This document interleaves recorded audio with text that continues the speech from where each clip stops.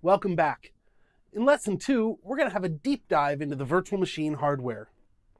We'll look at the files that make up a virtual machine. After all, all a virtual machine is, is a set of files. Think of them like Microsoft Word doc files is to Word. Well, we've got a set of files to a virtual machine.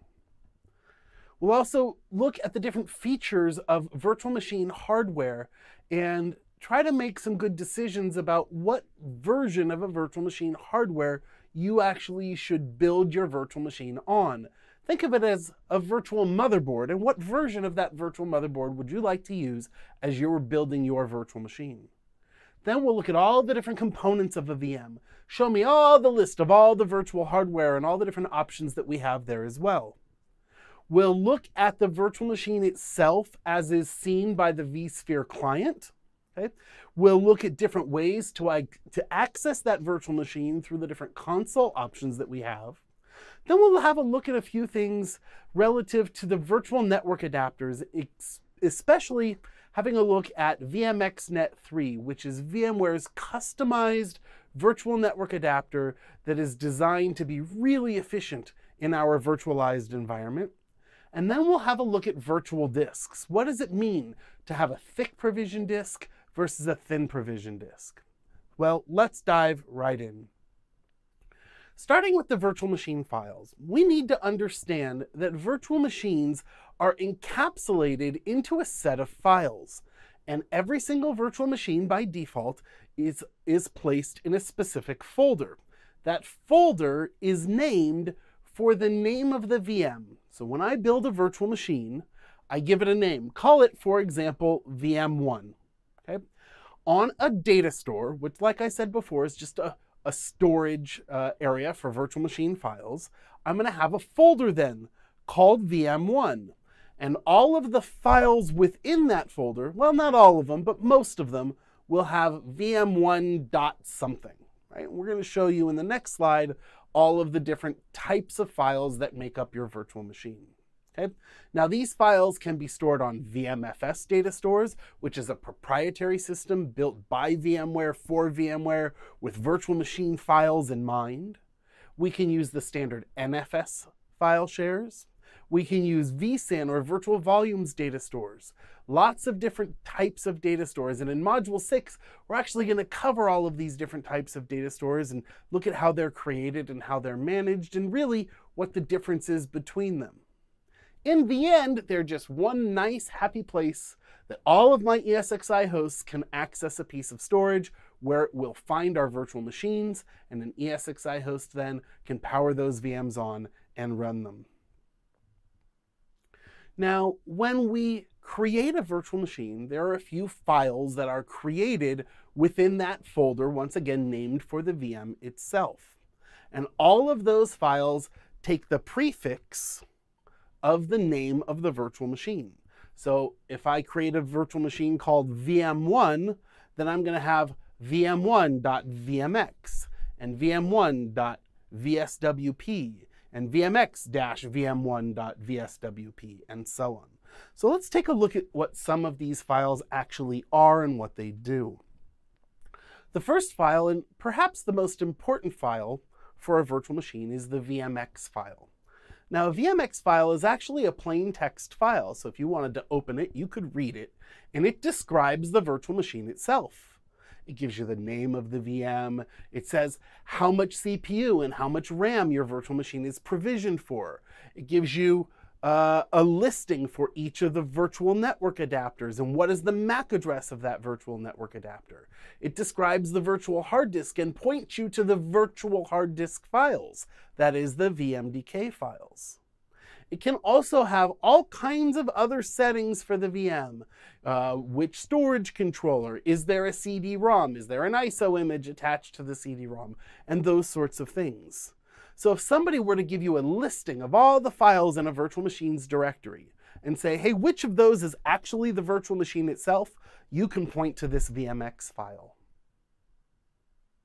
Now, when we power a virtual machine on, in order to support an ESXi host that might be out of RAM, we have a swap mechanism. Every virtual machine, when you power it on, gets a VSWP file. And the size of that VSWP file is going to be equal to the size of the memory allocation that you have granted to that virtual machine. So if I give a, a VM 8 gigs of RAM, the VSWP file will be 8 gigs. There are a couple of exceptions to that, and we'll explain those a little bit later. Now, in order to support ESXi's overhead for that virtual machine, we also have a VMX swap file, right? That file is much smaller, and the size of that file will depend on how much memory and how much CPU you've allocated to the VM. The more resources the VM is granted, the larger ESXi's overhead might be in certain situations, and so the more amount, uh, the larger the VMX VSWP file will be. We also have a BIOS file in the form of an NVRAM file. Now this is a binary file and it changes a little bit depending on whether or not you've got a firmware BIOS or you've got an EFI based BIOS, okay? But this is a file that you wouldn't touch or modify or anything like that. Now when you power on a virtual machine, a log file is created and it's called vmware.log okay, regardless of the name of the VM. This is the one exception to, hey, all of these files have the prefix of the VM, right? Not this one, okay? So this log file is only there for troubleshooting the power on of that VM. Can ESXi load the VM? Can it attach to all of the virtual disks? Does it properly get powered on? And so on, right? That's what that log file is every time there's a new power cycle, that VMware.log file is the current log of the power. Old files are incremented with a number. So the second time you power on a VM, the current log file will be vmware.log, and the previous log file will be called vmware1.log. And then we'll create vmware2.log and so on, and 3 and 4, and it'll just continue to increment there. Now, if instead of a virtual machine, you are working with a template, okay, we will have a VMTX file.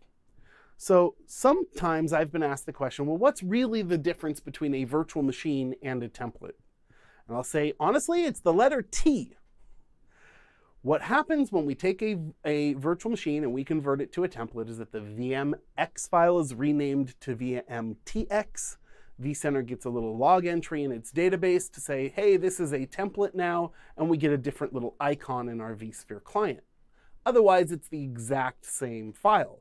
But it does mean that we can now deploy virtual machines from this template, having utilized all of the same files, including the file that comes next, which, is, which are its virtual disks. Now, virtual disks are actually made up of two files we have a VMDK file, which is just a descriptor of the virtual disks. How many heads and cylinders and sectors might this virtual disk be?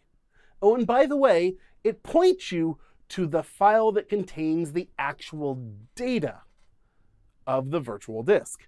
That file is the flat file, the VM, uh, the virtual machine dash flat.vmdk file. And that's where actually all the data is stored.